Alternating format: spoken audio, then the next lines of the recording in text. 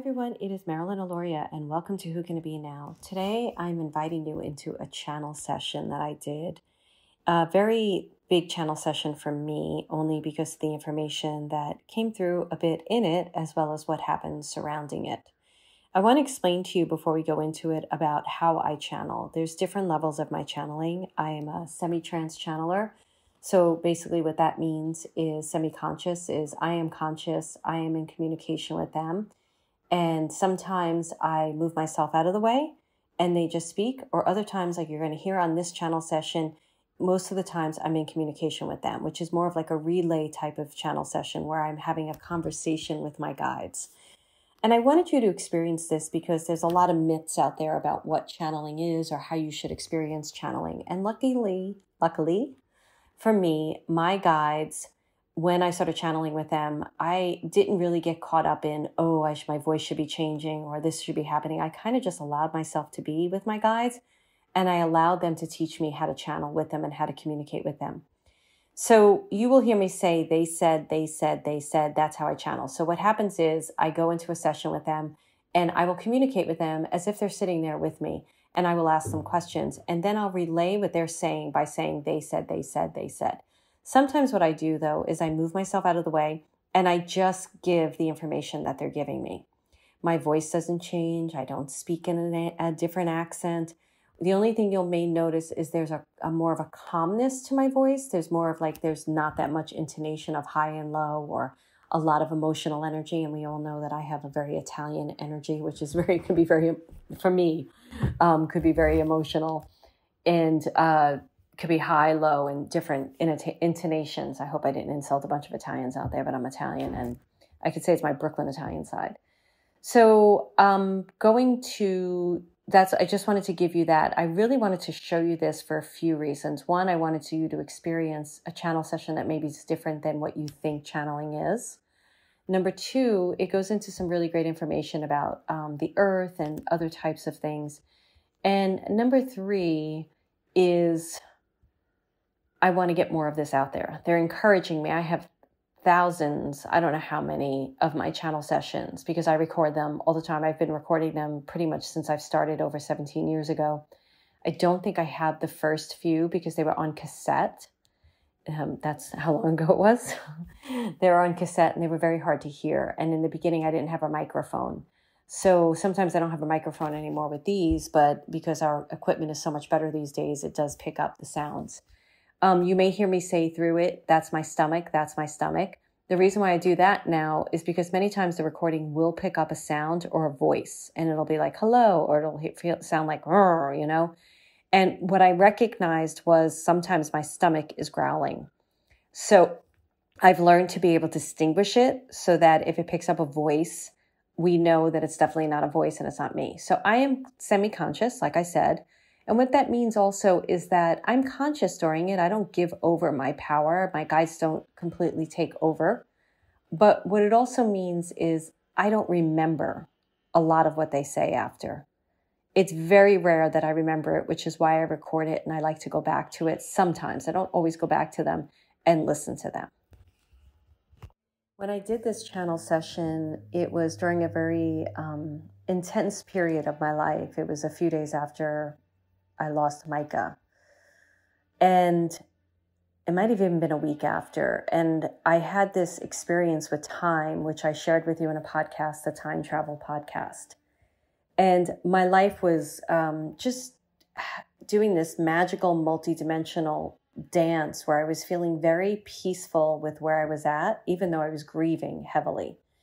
So I felt the information that came through this really helped me shift to another vibration and to learn why I was going through what I was going through and to help me through the grief. So I wanted to also share this with you because of that reason as well, to show you how channel sessions can really assist you during times when you're feeling very um, maybe depressed or upset or sad. And they could also assist you when you're doing exciting things and taking risks.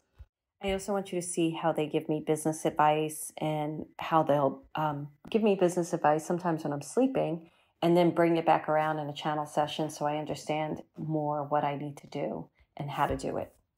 So, my guides will give me marketing advice or tell me what to focus on in my business. And you'll hear in this meditation that they tell me to just focus on next level living. Because for a while, I've been struggling with all these other programs that I have that I know are really good that could really help people, like Soul Finder Academy or all the other one off classes that I have, or I have an entire library of programs in Membership for Your Soul.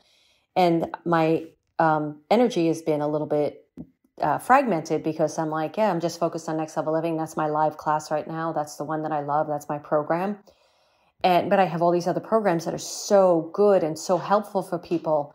And how do I get that out there? And you're going to hear the advice they give me on what I need to do. And that's what your guides can do for you. It's very practical advice that you need to have. So you'll notice like it's more of a conversation in good portion of it, especially in the beginning as I'm just taking their information in and I'm just relaying it. So again, I share this with all of you because I want you to see that there's different levels of channeling. And the reason why there's different levels of channeling, it's because how we decide to work with our guides. And if you're looking for some type of perfection or to be like some, someone else, you may be missing an opportunity to really talk to your guides in your own way. And the other reason why I channel in a specific way, especially in the beginning, you'll notice, is I'm filling in the recording all the claircognizant information that's coming in. So you'll hear at one point I'll say, they're showing me a glass. But it's a claircognizant message and it has so much more depth to it. So I'll go into explaining what the glass is. Now, part of the reason I do that is because it's very hard with claircognizance because it's a download of information to get it out in a linear fashion. I know that there's uh, pieces of it that I have to get on the recording so that I understand why they're showing me glass. If I just said they're showing me glass and I didn't explain what that was about, it wouldn't make sense when I listen if I listen to it a year from now. I also believe that a lot of these channel sessions are being recorded for a bigger reason. And it, I know I'm meant to go back to them and produce a lot of them and get them out there. And that's what they talk about in this recording as well. So I'm explaining to you how I work because I read very well for myself. And I really, I always want to teach people how to read for themselves. And so this is why I'm giving this to you. And what's interesting now is I'm recording this intro for you guys I think like three weeks after this, not even three weeks after this recording, it's about a week or 10 days. And already some of it has come to fruition. And I'm not going to share what that is just yet because I'm very um, private with certain energetic things. So when I'm still in process with certain energetic things, I don't always speak them out loud because I'm still working with the energy and um, molding the energy or working with the I don't want to say molding the energy, working with the energy. So, but listening to this right now as I'm leaving this intro for you guys so that I can explain what's going on so you could really get a feel for it.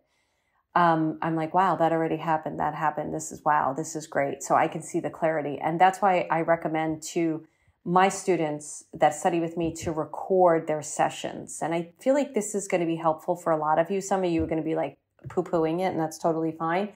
But there's going to be a majority of you that are like, wow, it's that clear. It's like having a conversation. I can do this. And I'm hoping that it turns on the light inside of you where you're like, that's not just my imagination. And I've shared this many, many times. When I first started channeling, I said to my guides, is this my imagination? And they said, we're giving you great advice. Who cares? And that was the license to just keep going. And I can't tell you, like I said, I've been channeling for almost 18 years now, the amount of advice that they give me, it's so profound, so incredible, so amazing. And when the, the, the times that I have gone back to recordings, they'll say, you know, go back to, I'll pick up a recorder that has like tons of files on it. And they'll say, go to file number three, recording number seven. And I'll just go to that one. Like there's a hundred on there. And I'll go to that specific one and it'll be like from a year ago and it'll be exactly what I need in the moment. And it'll also show me that things that weren't even on my radar came true. So I really suggest that you keep a recording. You can do automatic writing. That's fine. I do better with speaking. Um, either way, it's great to keep a recording because you think you're just making it up in the moment.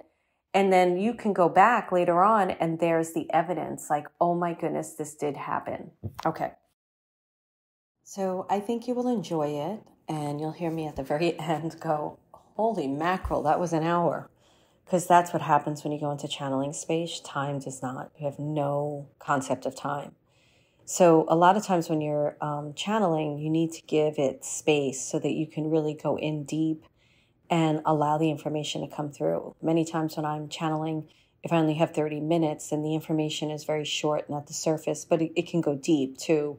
But this was a session where I just allowed myself the time and allowed myself to go in and just allowed to happen what needed to happen. And I was quite surprised when I came out of it, like that it was an hour later. I hope you enjoy this and um, just know that there's different types of channeling out there. There's even a little bit different types of channeling with me when I'm doing readings with someone, or if I'm reading a group, or if I'm teaching my group through um, my guides and my guides coming through me. There's all these different ways that it can happen. And you get to choose how you want to work with your guides. One of the most important thing is when you're working with others and even when you're working with yourself, you have to learn how to move yourself out of the way so the information can come through you. So you may look, listen to this and go like, you weren't really out of the way, but I was to receive the information. So I was asking about life experiences or um, what I wanted to know about my life, but I was willing to receive whatever they had to say in whatever form they said it in, however they said it, or whatever, you know, whatever was going to be said. So I allow that to come through. I don't get attached to a response. And when you can let go of being attached to a response, more information will just flow to you and flow through you. Enjoy it, have fun. I'm sure I'll be doing more. If you're interested in learning more about how I work, the program to look at is marilynalauria.com forward slash next. It's my next level living program. It's where we dive even deeper into this work and even in a deeper way that this channel session that I'm sharing with you is, is not as deep as we go. So if you're interested in that, go to marilynalauria.com forward slash next or you can email us at care at marilynalauria.com. Thank you so much. Uh, you're going to hear a little music and it'll go into the session. Have a great day or night whenever you're listening to this.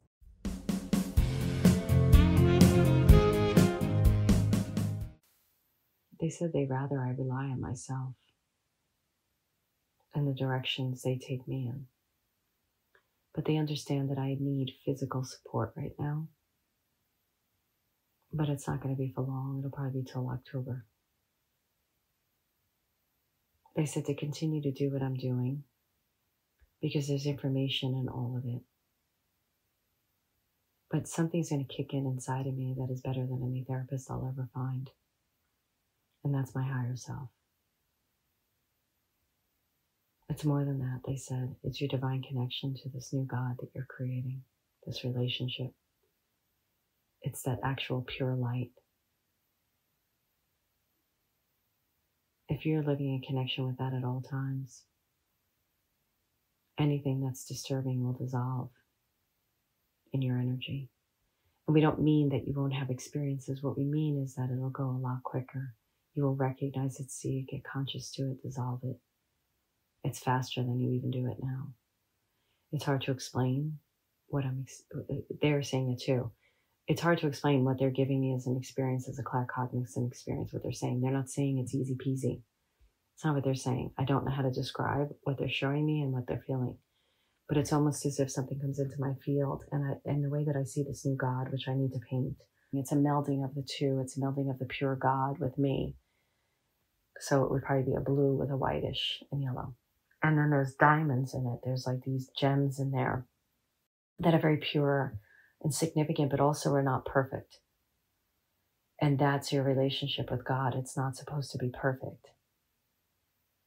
And so, what they're trying to show me is that when you have this pure relationship, and right now God shows up as a square for me, this colored square.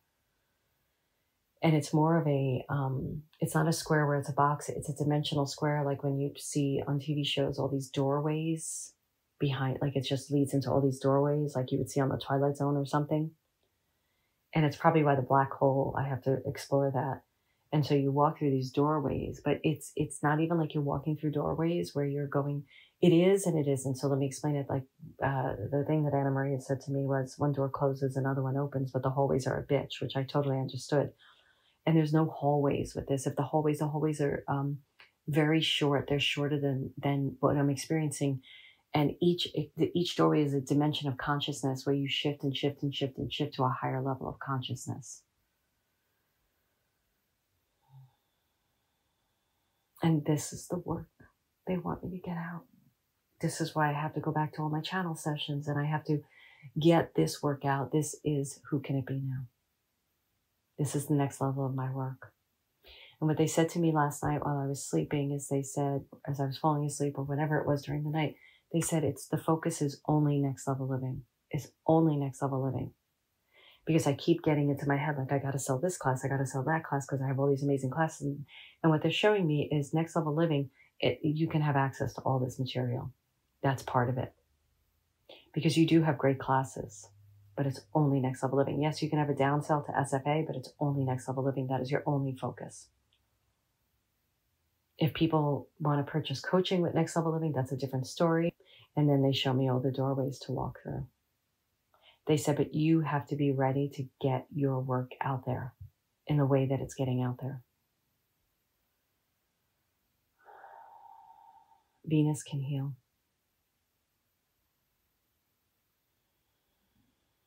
And she wants to heal because it's a new relationship that we're forging, the two of us. It's quite beautiful how we're getting into each other's heart. And she's the dog I need right now. She's very easy. She goes with me places. She does her own thing. She's independent. She's not needy. Yet she's there for stability and love, and we both love each other very much.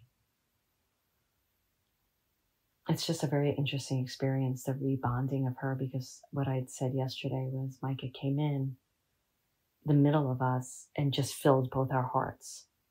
And he was such a big energy and such a big love and such a big, you know, just this incredible being that Venus and I got separated heart wise because just Micah was there for both of us. And now that he's left, Venus and I are discovering each other's hearts.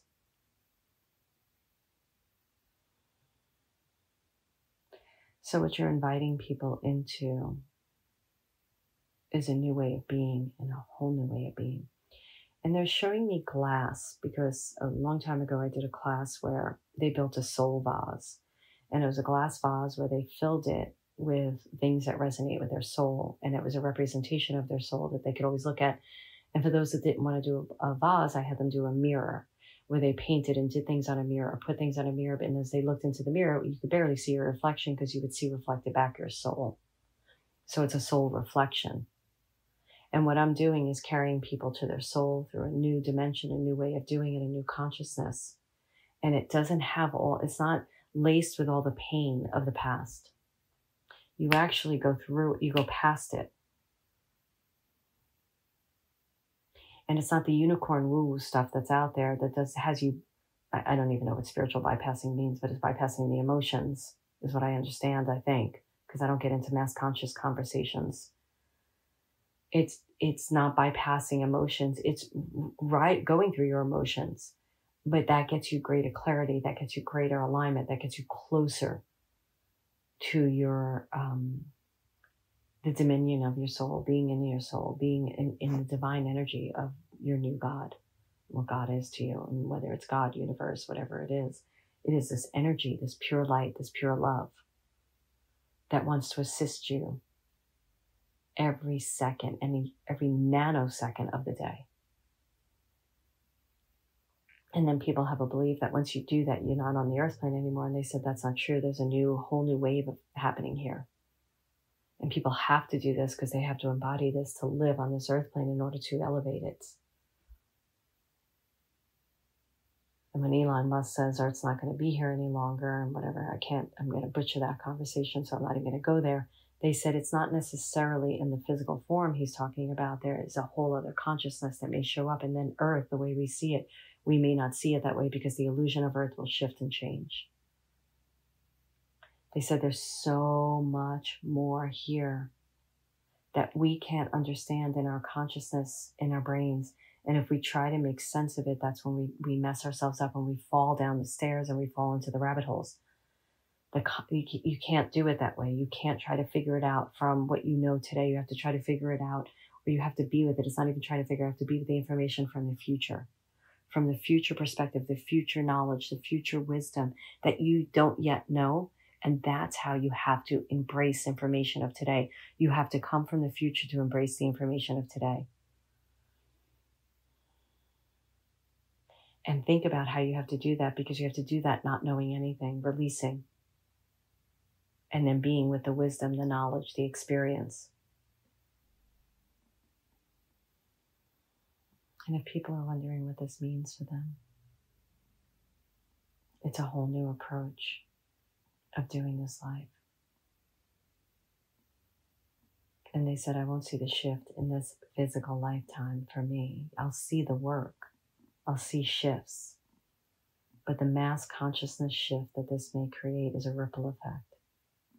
It's kind of how some work lives on. It's like I experience Wayne Dyer's work as as having an elevation to it. It doesn't. It's not the consciousness that you met it with when he was alive. There's a different consciousness to it. So there's certain work out there that you can read the work of a lot of philosophers, and you can read their work from the consciousness of today, and that has elevated the work, the understanding of the work, the understanding of the writing. So if we read it in like, you know, just uh, thinking of Tao Ching or, um, Tao, I'm not saying these names right, but if you looked at it from the 1950s, there would have been a different understanding than what it was today. So that work has a, an evolution in it. And that's the work that I'm creating It has an evolution in it.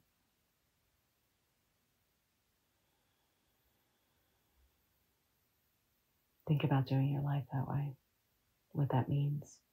And that everything you see is patterns, is numbers, is vibration, is energy. And the, the earth shifting and changing with a consciousness means that a tree may no longer look like a tree.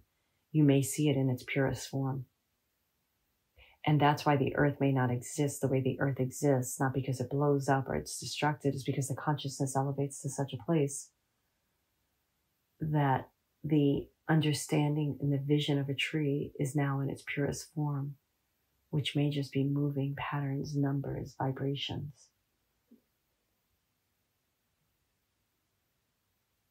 People have to embrace a new way of thinking and being. So they want to move out of this because I believe I'm going to take that portion and put it on the podcast. And they want to talk to me. So, this is why I can't work with any one particular therapist. Only why I can do a few sessions here and there. Because doing the sessions is helping me to break through the paradigms that are no longer serving me. Oh, excuse me, that's my stomach. That's my stomach.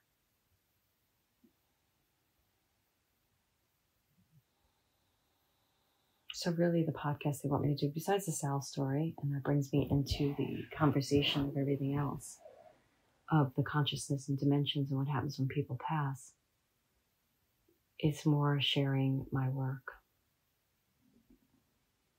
So, and they said there's something that I'm holding that I have to suffer through this before, because that brings in the clarity of wisdom so you have to shift that dynamic. So if you do a ritual of releasing things, that's one of the things you have to release is shifting the dynamic that you have to suffer in order to get into great wisdom. That's the belief system out there. And that's the belief system that has to dissolve and dissolve it in the purest light of God.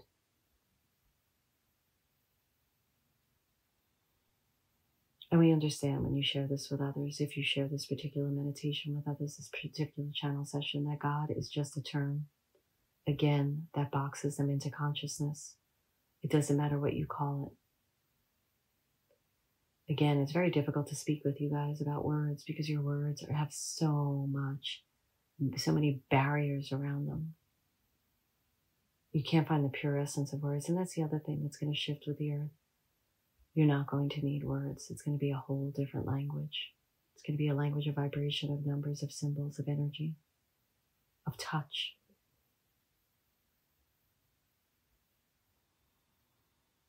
Bodies may even dissolve.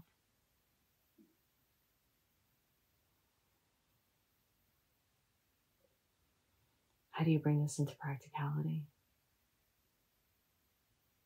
You absorb this information, you let it be in your system, in your being, and then you do the world from this knowledge. You'll have a much different experience.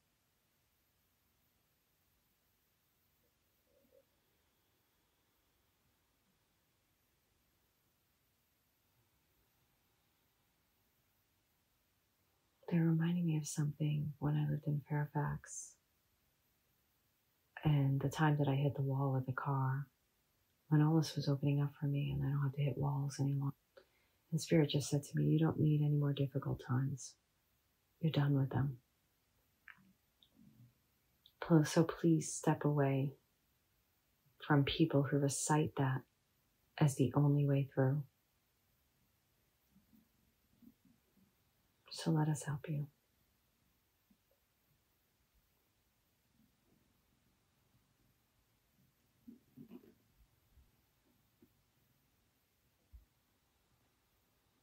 So yesterday I saw the magical owl. I wanted to, and I saw it. So practicalities. Let's get into practicalities for a second. That's why Venus is the perfect dog right now. She's so good. She's just sleeping. She's so special. I'm going to discover a real specialness about her. That got overshadowed because Emmy was in the picture with Venus. And then Venus and I only had a couple of months together, a few months together by ourselves, and we bonded. We even bonded towards Emmy's ending because I couldn't take the pain of losing Emmy. And then Mike had bounced in, took over with his love and his nature. And then he made way for us again. What a giving dog. What a love. But there's something Venus has for me that's so special.